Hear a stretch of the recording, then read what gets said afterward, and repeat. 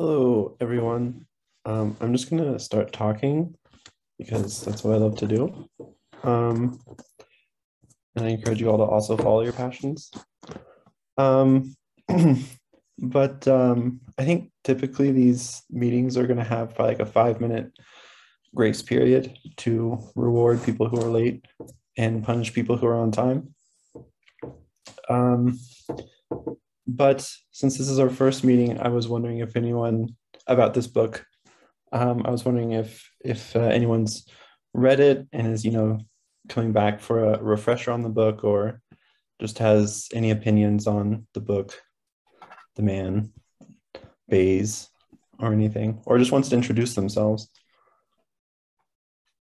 Um, I'll go first. Uh, I have not. Okay, first of all, I'm Tony. I work as a data scientist. Uh, I have not read this book, but I have taken a class on Bayes statistics. In that class, we used, I think it was like OpenBUGS or something like that. And I don't think there was an actual textbook for that class. It was just like all lecture notes. So I don't know. I've heard plenty of great things about this book. I assume it won't be like too different from what I've learned already, but that class was like three years ago, I think and just be kind of a nice refresher. Uh, hopefully a modern take as well, uh, using like actual modern R code. That'd be really nice. Tony, have you done any projects with Bayes that pertain to any big sports? Uh, yeah, we did the, you know, we used a little bit of, I guess, Bayes with the, uh, in the NFL Big Data Bowl last year. Um, we used a BART model, Bayesian additive regression trees. Um, you don't have to know a bunch about Bayes to, do, to use that though. You just know how to install a package and use the package. Uh, cool. I've used a, I've used like uh, most of the time when I've used Bayes, it's like the empirical based stuff using like what David Robinson has shown with his, his book on empirical Bayes, uh, using that often for like adjusting for small sample sizes. Mm-hmm. Uh, that's like, honestly, like if you know that book or read that book, knowing like how to use a beta distribution is like so important. uh, it covers a lot of like use cases. So yeah.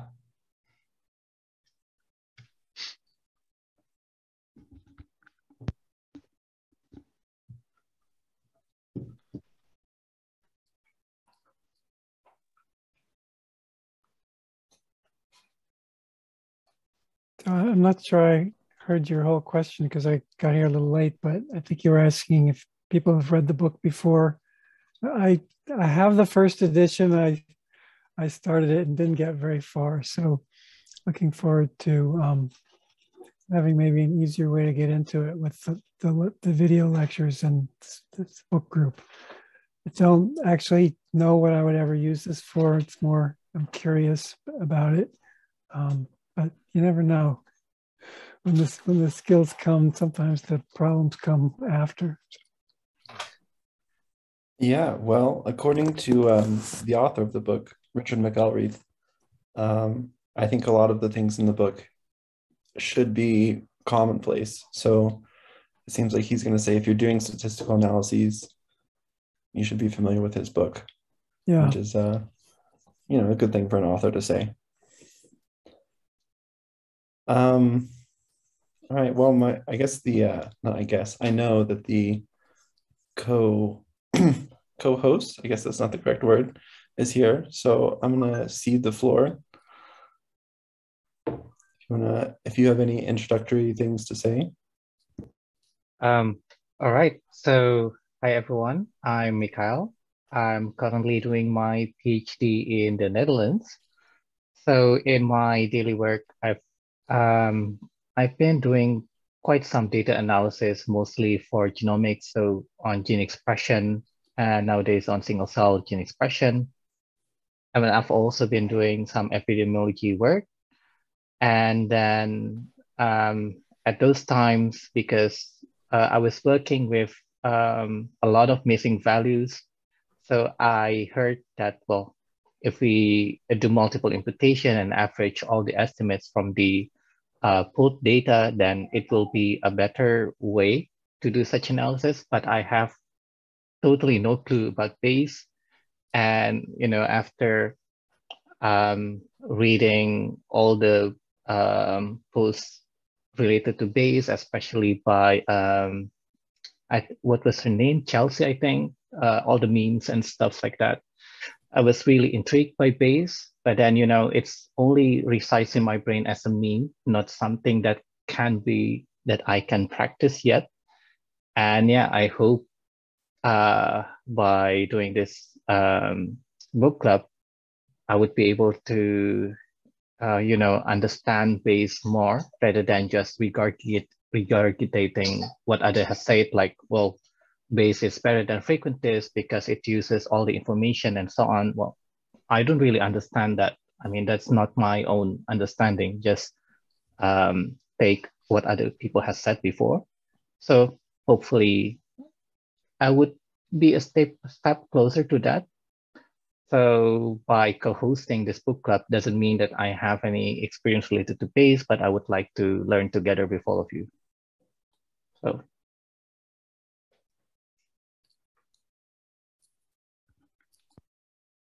All right, so I guess this is the proportion, the proportion, the portion where we are going to somewhat, somewhat, at least, at least somewhat democratically decide the shape of this book club.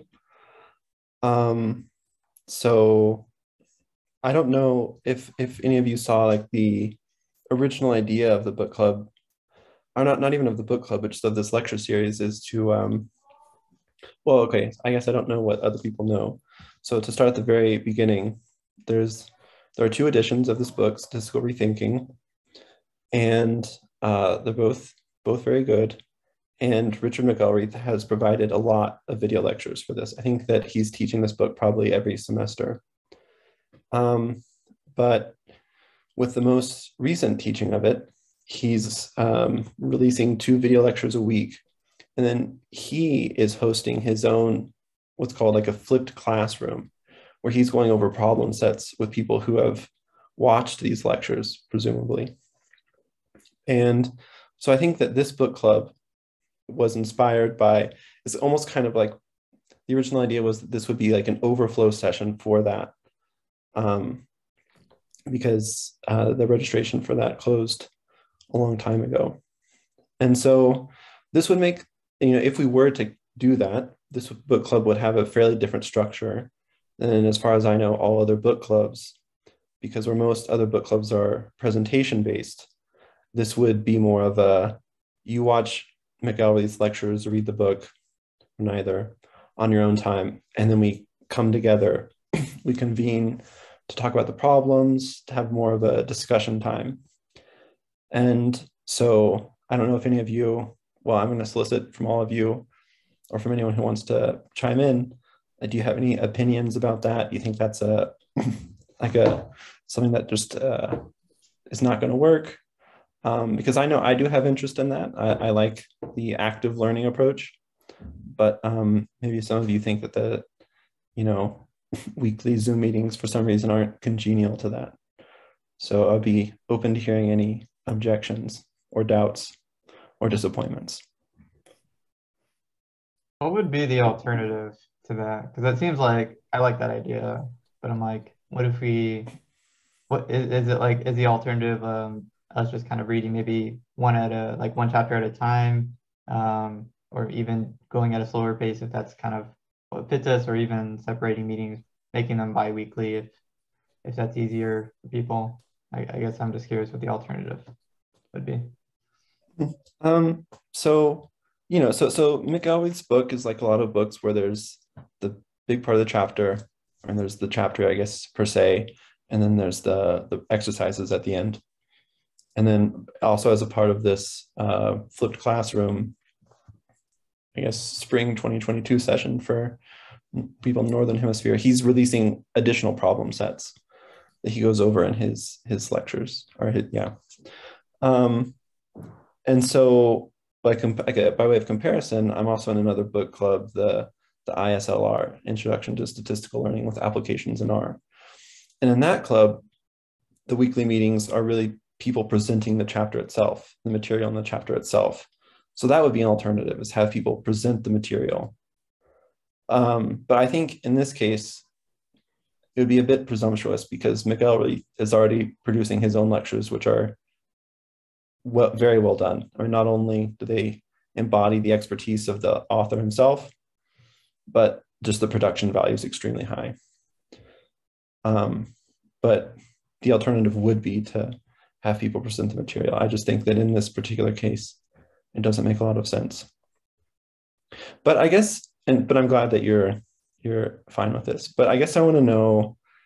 I, I would be happy to know any dissenting opinions about, or just things, ways that people think, you know, weekly discussion of the problems could uh, go off rails or something like that, so that we can guard against that.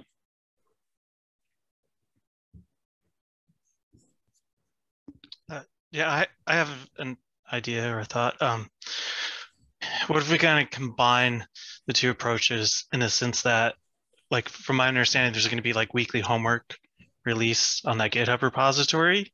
So maybe we could, you know, have volunteers to tackle like one or two problems or something like that, and then kind of present their solutions and or their partial solutions or whatever, and we can we can work through that together. Uh, yeah, yes, I think that would be good. And so by combining, you sort of mean combining stylistically, because really, Yeah. Because so let's say I do problem presenting. one, I could Mhm. like show my solution and talk about how I came up with it. So I'm kind of presenting my solution, but also potentially we work out a solution together. If not, if everybody's solved it or something. yeah, yeah, no, I think that um, yes, it's definitely good for. I think that would be a good way to do it. We definitely need people to be. We need to ensure that at least someone comes in, at least one person in the group comes into the session with the answer for for all the problems. Sorry, that wasn't phrased. The quantification that what I just said was wrong. For every single problem, at least one person in the group needs to have an answer. I think that would be that'd be one way it could fail if that fails to obtain. So yeah. So I think that's good. I think that we should avoid the diffusion of responsibility. Some people get certain problems. I honestly, on my own, hope aspire to do all the problems myself. So hopefully that could be a backstop. But uh, I certainly don't want to present every single problem. Uh, but no, I think that's good. So are people okay? Uh, I, I we can't. I don't know if I can do a poll right now, but are people just in general positive? Are they positively disposed toward just having this be like a problem focused weekly meeting? Yeah, I think it's good. yeah, I like that. It might be Yes, especially if interesting. Oh, go ahead, Kent. to have different styles too, because um, McElrath has his own style, which is fairly um, traditional R coding style. And I know somebody said they were looking forward to seeing modern code, and I'm not sure that's a good place. But um, there's also several other styles. I know there's a, a companion that goes through all the examples in the book in a tidyverse style, and that would be another way to solve the problems. So it might be interesting to have even more than one presentation on each problem and see a diversity of um, of methodology for sol- for solving them. Okay, yeah, I definitely agree. Um, okay, so there's that. So I- I think um, a few more practical things that we can talk about, uh, that we should talk about are pacing. Um, so McElreath, I, I always said McElreath, but I guess McElrath.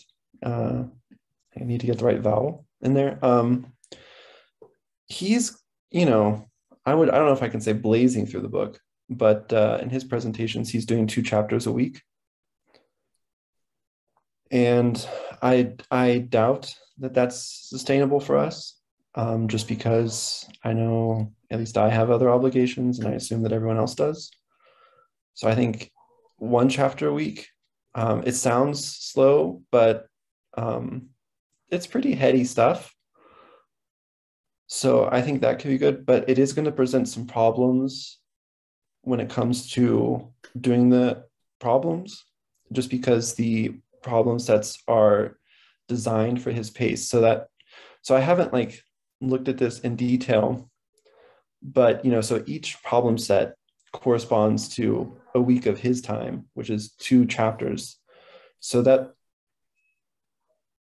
it just, you know, maybe is a little bit uncomfortable. One thing I was thinking is that his book, which does correspond to his lectures, actually does have problem sets for each chapter. So one thing that we might want to do is actually get some problems from the book and work on those together as well. Um, and that would just require someone, and I'm happy to do this, um, getting those problems out and supplying the group with like a common problem set. Um, and what one nice thing there is that he has these graded, graded in the sense of, okay, graded in difficulty problems where there's the easy ones that are basically comprehension questions, medium, and then you know hard or advanced, which are really taking it, the ball further. Um, and so there, what we could do is have maybe a sign up sheet where someone finds what they think is an interesting problem and presents it. Um, and then I don't know. So at this point, things get a little bit messier. But I don't expect anyone to have like dug into this and have a solution. Justin and Mikhael, with other book clubs, we always have a R4DS learning community GitHub repo. I haven't witnessed one yet, or maybe it hasn't been created yet. Um, currently, all the the Slack channel are pointing at uh, McCareth's uh, uh, teaching GitHub page, uh, which is a link to the videos. I do recommend going that route too. But um, do we have a central location within our community to post or host uh, any shared files? I'm thinking about the homework assignments and, and even um, who's uh, scheduled to deliver for that week. That always seems to be a, uh, speed bump for most of our book clubs. Um, so yes, so Tony just posted in the chat. There's Oh, thank a, you. uh, yeah, so this is something that John is currently helping us out with.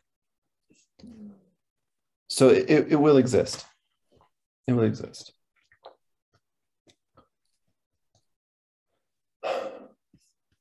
I like the idea of doing the some of the exercises from the book, maybe at least in the off weeks, and then when we're at a week where we are synced up with the the weekly lectures, maybe we would do the exercises that are assigned for the class.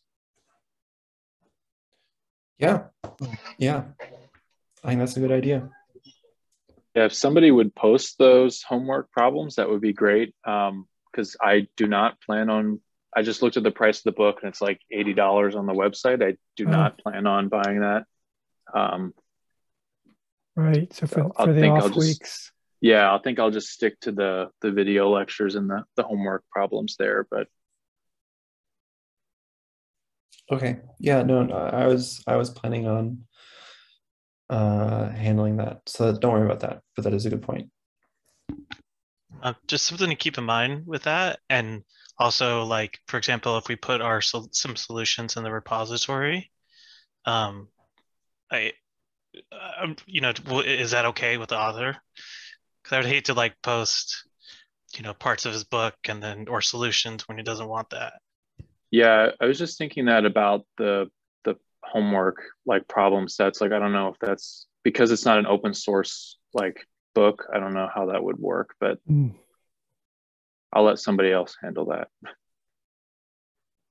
Yeah, yeah. Uh I guess I we should ask John because I mean, regardless of what we do, actually, it could be uh thorny because I mean, regardless, even if we don't post anything uh textually, you know, we are gonna these videos will become public. By the I hope everyone knows that these videos will be public and we're gonna be talking about the answers. So so I'll ask John about that, yeah. I don't think it's gonna you know prevent this book club from happening but uh it'll be good to know what the best best practices are um okay so i'm trying to think if there's anything more Mikhael, do you know of anything else, or can you think of anything else that we need to resolve? Or because right now, I think what would happen is we would um, yeah, there's stuff going on in the chat.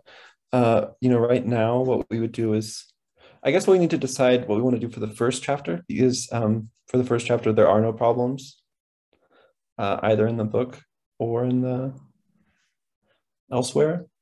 Yeah. So, um, so I guess we should first decide what we want to do there. But I will say the first chapter is not just because there are no problems. That doesn't mean that it has no content. Uh, I think that he introduces a lot of stuff in the first chapter slash first video lecture. I'm just going to use chapter regardless of whether I'm talking about the book or the the video lecture series. Um, but a lot of stuff is introduced there that comes back, so I wouldn't recommend skipping it. Um, but so that does mean that for next week, we could either meet to discuss the first chapter, or we could say read slash watch chapters one and two, and uh, we'll present problems with solutions. Any feelings about, any thoughts about those two options? So I don't completely get, so, what's the current consensus are? So are we going to follow the topical outline that is provided in the GitHub or following the chapters um, as in the book? Because I think the book has 17 chapters in total, right? Whereas the uh, lecture schedule has 10 weeks. So which um, system are we going to follow? Because I think it will also affect how we're going to pace this book club.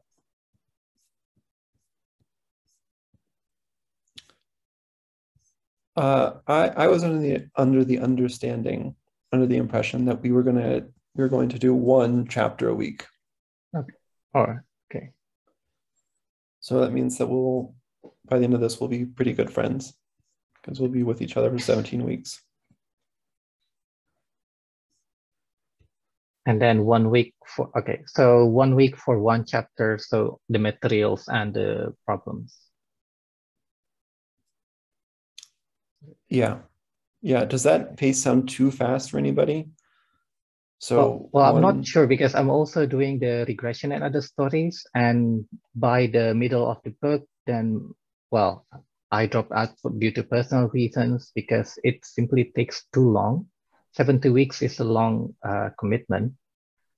And yeah i'm not and like what you said as well reading three chapters in a week and sometimes the chapters can be really dense it's also may not be feasible for many people. So i guess there's no perfect um, plan but uh, one chapter per week is also um, good i think Yeah, I just think that um, attrition is going to be a problem either way. I just think it's going to be really bad if we try to do two or three chapters a week, and then we shouldn't be surprised if there's no one left remaining after two weeks. that's true Justin Mikhael and team. One of the the difficulties, I guess, with the ISLR program or book club was the oh, how do I say it? Not aptitude, the depth of the subject matter. Um, it is very in depth in relation to not being topical. Um, these are some very deep dive, uh, foundational core statistical type uh, methodology. The timing uh, at least with ISLR, it seems to be um, we were trying to relay back and forth between chapter versus exercises, and then it just spread out, doubled over um, its length. Uh, do you have any comments, Justin? I know you presented uh, here just recently. I think chapter four, maybe chapter five. Um, how how much commitment, I guess, did you have for that um, display or, or, or presentation? How much commitment, do you how much time it took me to? Yeah, how how long did it, it it actually invest in brain power to to building that presentation? Um, you know, I mean, I'm just I'm a very slow person, so it took me a while. Uh, no, but it, but I think this will be a little bit different. I mean, one of the things that we're going to save a lot of time with, I think, is not making presentations. Really, um, you know, we might share our screen. Somehow, I don't know, like someone. I would not be upset if someone just took a, a piece of paper and you know just like was like waving it around like look here are my here are my matrices you know um, like uh, I'm not. No one needs to learn LaTeX. I think to show a solution here. By the way, I see. Uh, so anyway, so just to wrap this up, um, I, I think that you know maybe some of the problems are going to be really difficult, and that will take time. But it'll be even if you're presenting what I, what I guess I'm trying to say is that you don't need to spend any time on your presentation. Um, maybe rehearse it once just to make sure that your ideas are clear to yourself, but um, there's no aesthetic requirements here. Oh, sorry, I saw a question that I don't want to, maybe it was the hand up that was from a little while ago. it has since uh, disappeared. Uh, no, it was, oh. it, it, was me. Can you hear me? Okay. Hello. Yes, yeah. I can hear Hi. Um, so I just wanted to say I was um, uh, trying to uh, to encourage you that I, I started actually uh, this book, uh, reading this book again uh, two weeks ago when the actual the, the presentation started showing up. Um, and the first, so the first two chapters, sorry, the first two chapters are, that's my son, uh, sorry. the first two chapters are actually really introductory and the homework that you see on the site relates to the third chapter. So there aren't any sort of uh, complicated stuff. I think this for me. I mean, I'm not by any means. I'm not an expert in in, in Bayesian statistics. So uh, I just want to encourage everybody. It's it's not that difficult as it seems. Um, the first two chapters are really just the motivations for the book and why, uh, and some some basic examples of how things are you know working but the actual sort of computation and algorithms and stuff begins in chapter three. Um, that's that's all I wanted to say. Okay. Yes. Yeah. I I mean yes. Okay. So the the part about the problems. So actually, I didn't know that. I assumed that the problems were from chapters one through three, but I guess in a way they are just with zero contributions from chapters one and two. Um, but in the but so I guess okay. Wait. Um. Oh, sorry. I'm realizing that I I just. Does anyone have any uh, thoughts about the chapter one or or what we want to do next week? Um. Again, with the most the options that occur to me immediately are discuss chapter one or discuss or really sort of not discuss chapters, but just start, you know, do a dive into a chapter two and present problems from chapter two. Any thoughts about those two options or, you know, something that I didn't mention?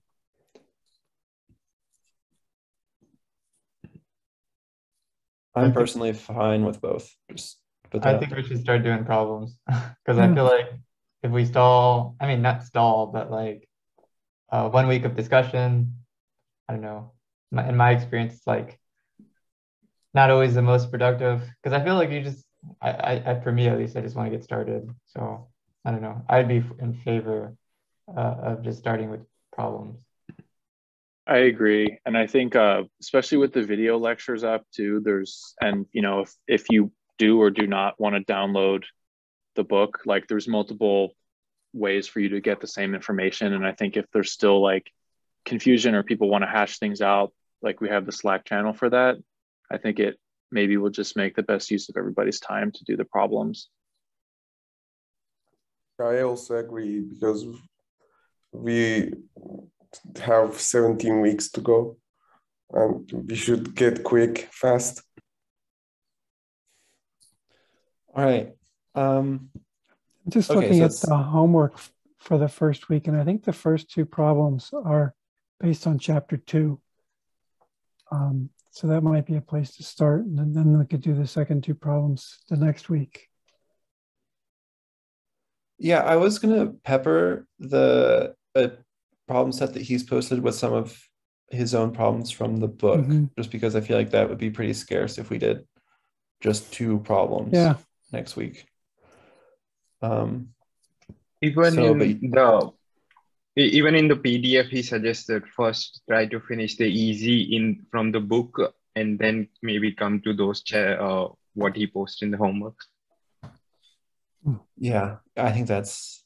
I think he's definitely right because I I did look at his posted problems, and at least the very last problem that's posted um, in the set is is pretty heady. It's some pretty intense stuff. So we should probably work up to it.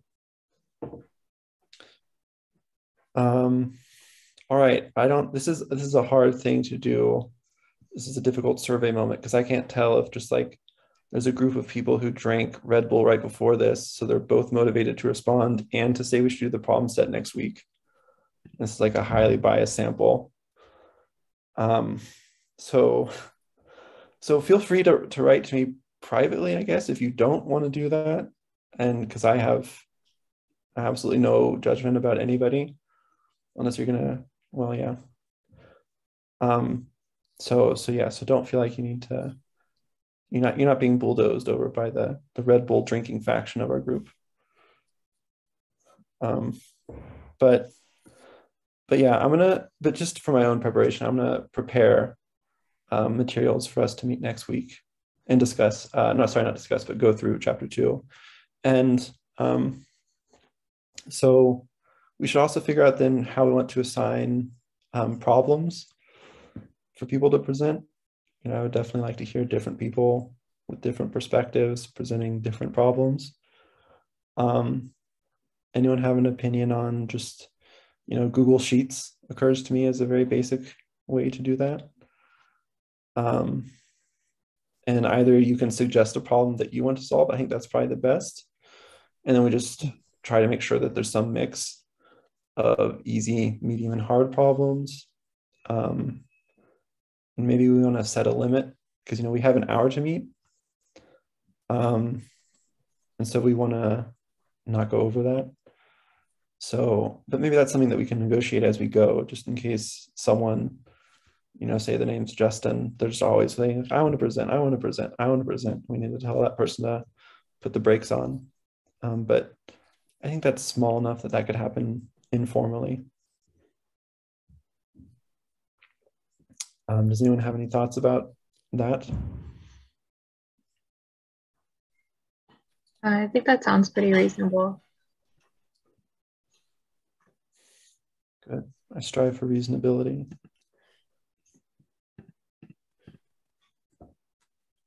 I think the other book groups, do they use the um, GitHub repo for signing up for chapters? That's maybe a little heavyweight for signing up for problems, and maybe Google Sheets is better, but just as an alternative.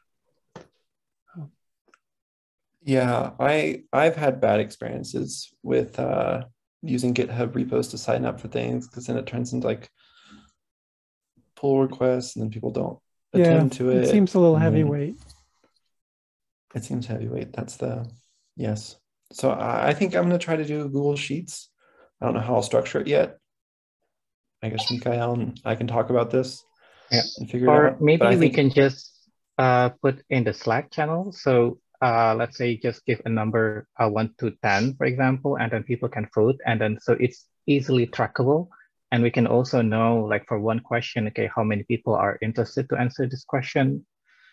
Because for if you do it in the Google Sheet, well, it will be a long format or wide format. It will be a bit uh, messy. If you, um, let's say I want to insert, okay, Mikhael wants to answer question one, two, three, and other people wants to two, three, four, then we don't really know, okay, so how many people are going to answer question two, and so on.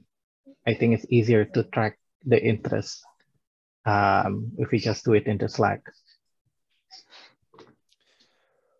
Um, yeah, I'm just going to share my screen for a second just to show, in case someone hasn't, for those people who haven't looked at the at the book, like this is what. So I hope I intend that you all can you all can see my screen now. So this is what a typical end of chapter practice set looks like in the book. Um, so it's, you know, this is from chapter two. Um, so there are these easy problems, which you can see you're learning how to express conditional probability. And there's a kind of conceptual one. Then you've got medium problems, and you've got hard problems. And so one thing that we're, and we're not going to be able to talk about all of these. Um, it would take far more than an hour. So there's going to have to be this possibly two-part process where we decide what problems are going to be discussed and then who will discuss them. And I say possibly two-part because it could be one part. It could just be the a person who wants to present the problem proposes that we discuss that problem. Um, so so that that's the particular that's the needle we're trying to thread here. Um, does that so Mikhael, does that change what you were saying about using the Slack channel? Um, I don't know. To me, Google Sheets, something about the staticness of Google Sheets seems conducive to organizing this. But I'm also like a very poor Slack user. So maybe, but maybe other people are as well. So I don't know. Well, we can just adapt as we go along, right? We can just start with Google Sheet and then um, maybe we can improvise later on. We don't have to set everything in stone from the beginning. Right. Oh yeah, I think that I think provisional approach is definitely the way to go. Okay, so provisionally, next week we're going to work through some problems. Some people are going to work through some problems in chapter two, and we will reconvene to discuss them. Um, and I will put a Google Sheet in the chat in the Slack channel. Any anything that needs to be said before we disband? I just want to ask that if if the book club that I'm signing right now is advanced, I don't know if the book is advanced for me, um, like compared to uh, ISLR. Do you think um, statistical rethinking is advanced or not? Mm, that's a good question. Uh, um, it's it's a book that requires thinking. I it actually I don't know how to. So it mixes beginner and advanced things in a pretty atypical way.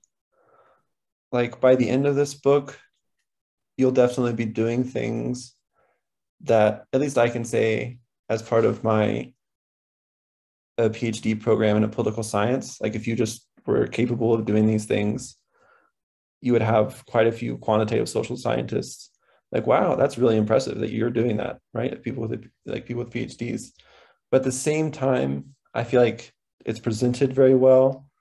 So i i think i'm trying to say that you should use you should think of that as an incentive not as a disincentive for reading this book.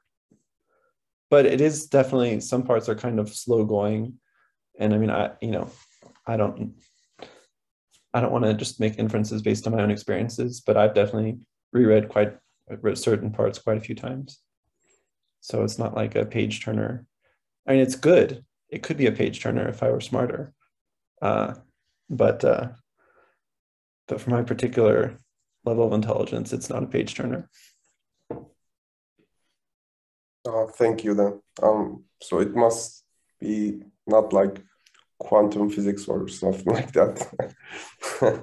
no, I would, like, I would like say for yeah, a. Guy, oh, go, go on, sorry.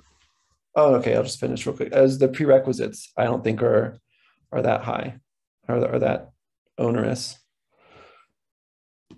Yeah, I was gonna say like like a average guy like me who's like grad has undergraduate degree, so it, it wouldn't be like quantum physics, then that's fine, I guess. Mm-hmm.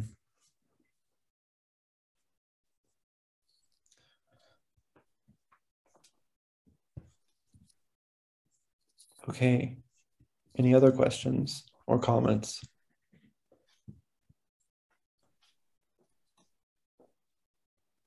Just thank you, Justin and Mikhael, for doing a great job getting us going. All right. Well, that'll really be tested next week, but it'll be promising. I'd say a promising beginning. So thank you. a strong prior. Can I just say that I love Justin? I love your sense of humor. Like I, he told me I was laughing a lot there. the absolutely dry sense of humor there just got me. I'm, I'm glad. I'm glad that you didn't hate it. That'd be rude if you said that though. You can also you can also send me a private message if you hated it, by the way, as well. because as mean as that sounds, it's useful information for me. Um, all right, Mikhael, I'm not going to unilaterally close this meeting. So do you have any anything you want to add? Um, no, not of any significance now. yeah, I guess it's just, well, I reminded about the ISLR stuff before. Um, to me, ISLR it seems like a book that you can read maybe like chapter one and then you can skip, skip to chapter five and then you don't feel that lost. But then to me, Statistical Rethinking seems to be a book that you need to read from the cover to cover because I think he basically gives you a complete storyline of um, things from the beginning to build up and so on. And I guess the most important thing in this book club is that um, we shouldn't leave anyone behind because um, if um, well if you're lacking in one chapter, it can hurt our understanding for the next uh, one. So yeah, I guess just like what Justin said, um, just reach out if um, you don't uh, completely comprehend uh, something. I may be guilty of that in the future. So yeah, I guess uh, let's just learn together as much as we can. All right. That was a very beautiful sentiment, and I will honor it as the best of my ability. But I think we should close with that. All right. Well, everybody, I'll see you in the Slack channel and I'll see you all next week as well. Sounds good. Thank you. Thank you.